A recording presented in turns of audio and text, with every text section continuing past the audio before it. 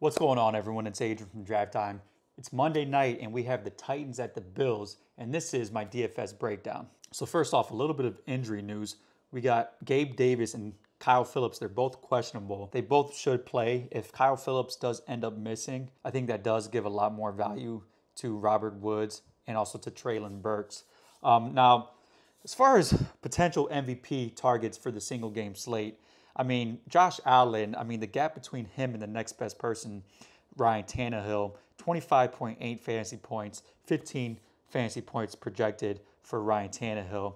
Uh, I can't really see much more scenarios where Josh Allen is not the MVP, but if you are going to try to target um, another MVP, I'd look at Derrick Henry and potentially Stefon Diggs. Stefon Diggs did have one game last season where he was the MVP over Josh Allen. So if he does end up getting two touchdowns, um, maybe 10 catches, 150 plus yards, he could outscore Josh Allen. But overall, Josh Allen, he's the MVP target. Um, I wouldn't waste too many other lineups with other MVPs. But if you are going to do it, Derrick Henry, Stefon Diggs, those are the only other guys that I see um, having the potential to be MVPs. Ryan Tannehill, he's another guy that you you may want to consider. But going back to last week, Matt Stafford really didn't do much against um, against that Buffalo Bills defense. Now, as far as sleeper targets, I take a look at Zach Moss. In the last game, he actually had six targets.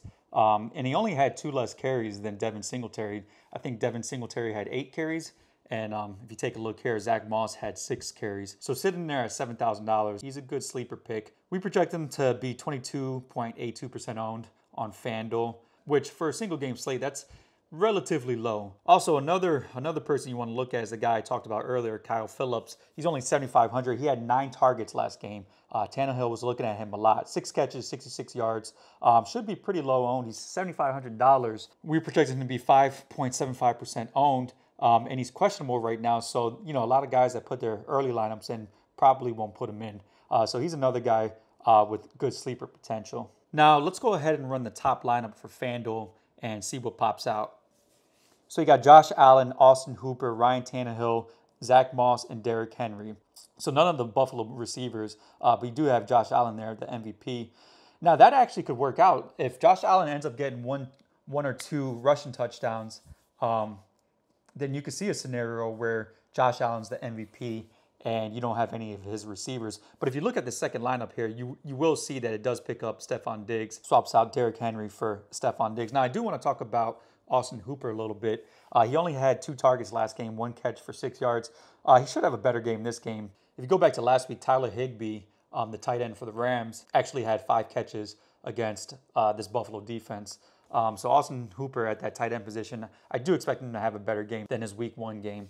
Now, before I get into the DraftKings lineup, let me go ahead and let's go ahead and run the, the lineup with locking in uh, Derrick Henry at the MVP spot. And you, you're going to see that that first lineup is basically the same lineup, as, except you're just swapping out Josh Allen for Derrick Henry at the MVP spot. Um, the same thing is going to be for Stefon Diggs if you lock him into the MVP spot. Pretty much going to have the same lineup as this uh, lineup number two here. So um, those are the lineups for FanDuel. Let's go ahead and get into it for DraftKings. Let's change that to the Tennessee at Buffalo.